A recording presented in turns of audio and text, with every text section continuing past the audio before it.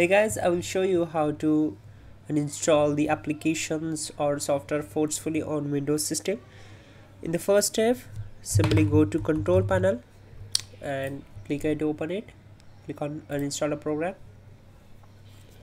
Uh, on this uh, window you can uninstall uh, the program. Simply right click here select uninstall. And there is another way. Right click on the start icon go to settings now click on these three lines go to apps then install apps and here you need to find out the applications which you want to uninstall. Then click on these three lines and click on uninstall. But if you want to uh, you know uninstall the application forcefully what you have to do you need to open file explorer.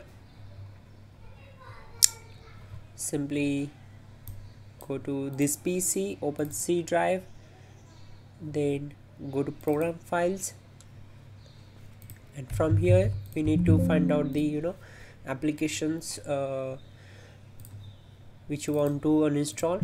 So I, I just wanted to uninstall a Google Chrome. So I will uh, just go to the program program file and I will find out the Google Chrome. And simply I will delete all the files from it.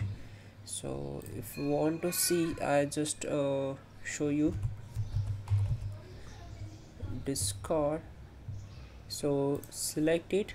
Go to its file location. Then I will simply uh, you know uh, delete all the files from the discord. And then we will go to control panel. And we will uninstall the discord from here so that's it guys. Your problem will be solved. You can also check out our description link to fix this issue quickly and effectively. And yeah don't forget to like the video. Please do subscribe the channel